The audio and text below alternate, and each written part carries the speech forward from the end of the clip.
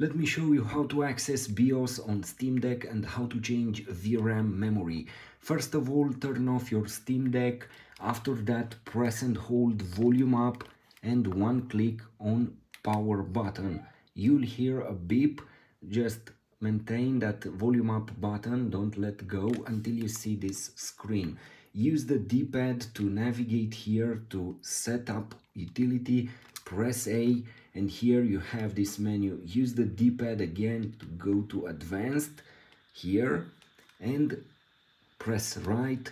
And here go to UMA buff, uh, frame buffer size. Here you can select whatever value you decide it's fine.